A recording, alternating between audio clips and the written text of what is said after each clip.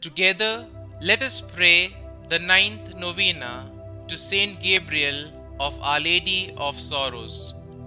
In the name of the Father, and of the Son, and of the Holy Spirit. Amen. Opening Prayer O angelic young Gabriel, who, with your ardent love for Jesus crucified and your compassion for Our Lady of Sorrows, were on earth a mirror of innocence and an example of every virtue. We turn to you full of confidence to implore your aid. How many evil things and afflictions, how many dangers assail our young people from every side, seeking to make them lose the faith. By your prayers and example, Saint Gabriel, obtain for me and for them all the graces we need to remain faithful to God and never leave the state of sanctifying grace. O good Gabriel of the sorrowful Virgin, you were taught by God to love the passion of Jesus and to remember the sorrows of Mary, his mother. By her side, you stood by the cross of Jesus and shared her compassion. Following her, you grew in love for God and all His people.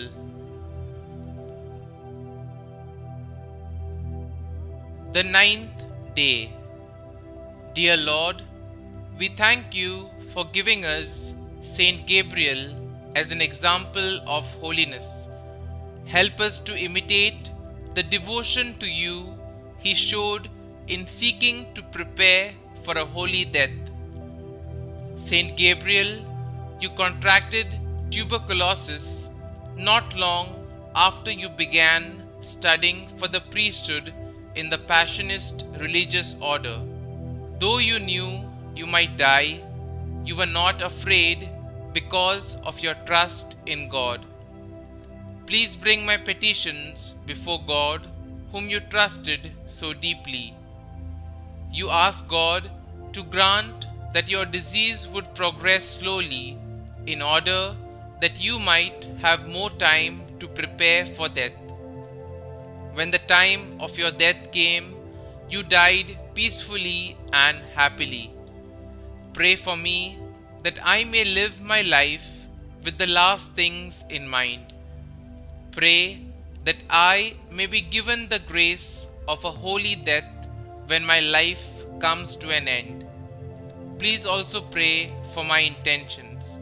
Kindly mention your intentions here.